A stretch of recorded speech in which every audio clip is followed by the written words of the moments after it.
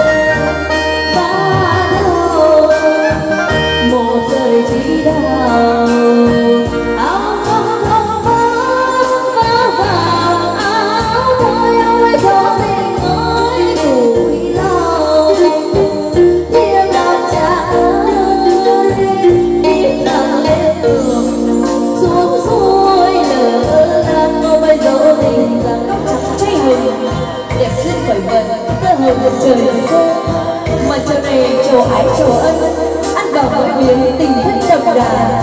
Hôm nay bác, mẹ một nhà nước chờ cánh phường đậm đà đôi bên.